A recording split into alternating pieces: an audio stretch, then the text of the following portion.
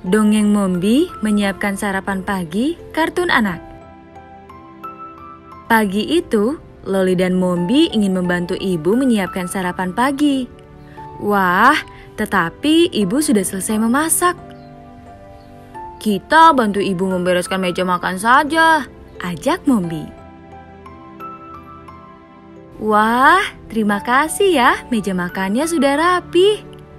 Sekarang kita siap sarapan. Ibu bikin apa? Tanya Loli senang.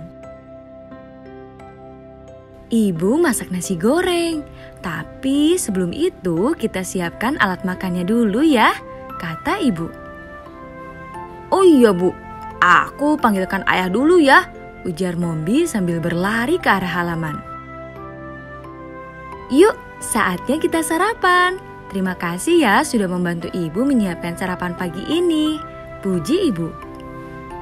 Nasi goreng ibu memang paling enak, ujar Mombi. Lihat, Kak Mombi kelaparan ya, kata Loli sambil tertawa. Sahabat Mombi, apa warna serbet yang dipegang oleh Mombi?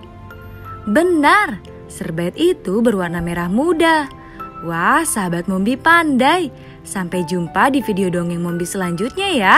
Dadah! Mombi sahabat kita. Bersama Mombi, ibu dan anak semakin akrab.